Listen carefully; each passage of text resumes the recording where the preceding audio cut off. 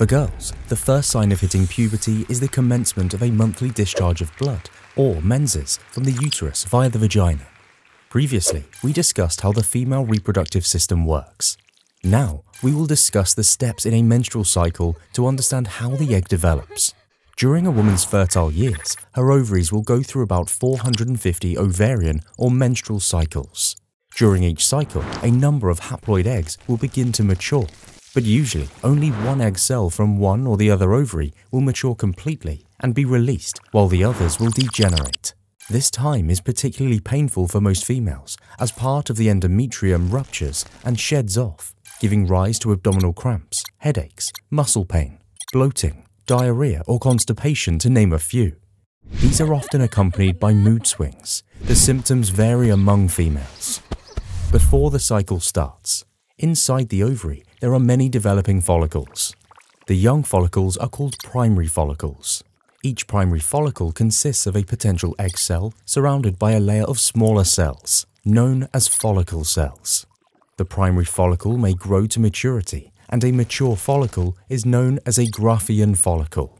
The Graafian follicle contains an egg surrounded by follicle cells and fluid-filled space. At about the 14th day from the beginning of menstruation, the Graafian follicle ruptures and releases the egg into the oviduct funnel.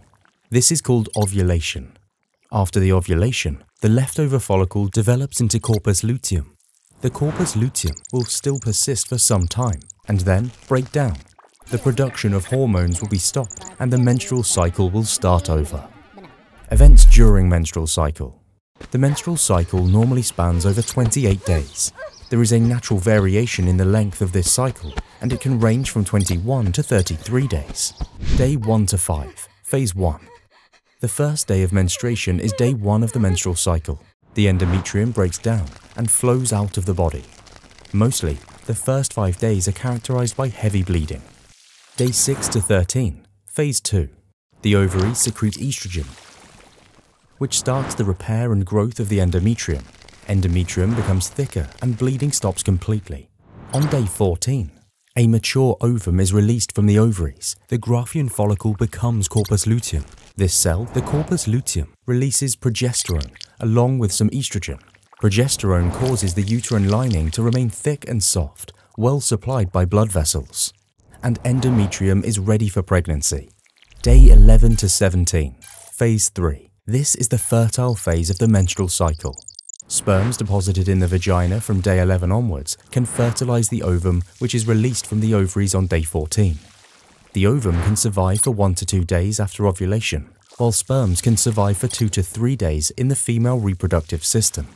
Hence, fertilization is possible up to day 17. Day 18 to 28, Phase 4. The rest of the days make up the infertile phase of the menstrual cycle. Sexual intercourse during this period is unlikely to result in fertilization since no ovum is present.